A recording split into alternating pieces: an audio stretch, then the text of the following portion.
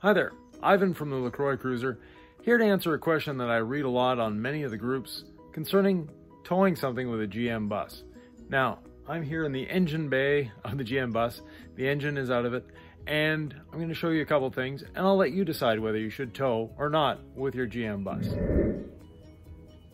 The GM PD series, or Parlor diesels, were monocoque buses, meaning there's no actual frame to the bus.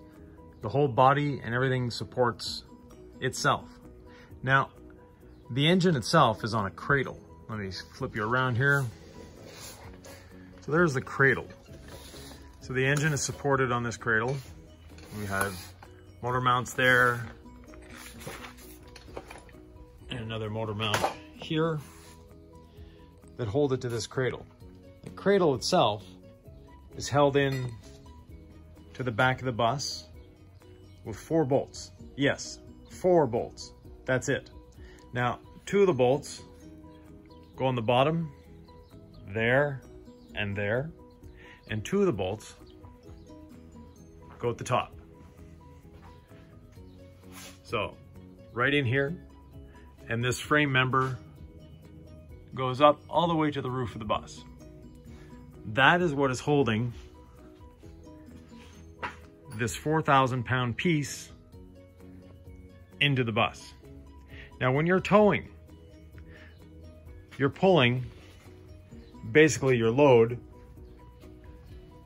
with these. On the door side of the bus or on the curb side, there is a slot with a bolt through it. And on the driver's side, there's a ball with a bolt through it.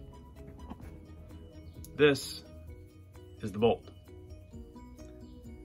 So two of these are pulling all that weight.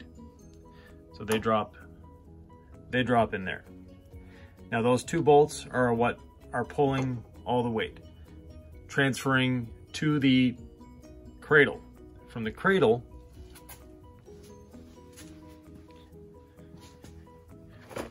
we have the slot here, we have the ball there. The cradle itself, it goes. We have the two rods on that side. On the fan side, we've got this frame member. They cross over. Let's go over to the other side.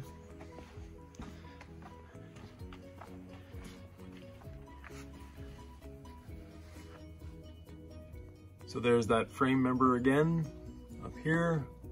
And there are those two rods. And those angle brackets have a metal rod that runs from there. So that bracket and that bracket there that are on about a 20 degree angle, they come up to here. This piece is part of this frame behind the bumper. So that is what you're pulling with. Now, as far as holding the weight up, again, you have those two areas that are resting at the back, and then two rods like this. So this is quarter inch thick angle iron, two inch by two inch. And through that hole goes a bolt. It matches up with this hole here. That is what is supporting the weight. So if you're putting a heavy tongue weight, it's pulling down on the roof of the bus, including the engine. So that you have the weight of that engine plus whatever tongue weight you're putting on that is drawing, that is pulling your trailer. But it's also supporting all this weight. Remember that. So can you pull something with it? Yeah, not a problem. Um, we pull a Jeep with ours all the time. No issues there. There's no no stress cracks in the frame. We sanded it all down. Everything was fine. No problems.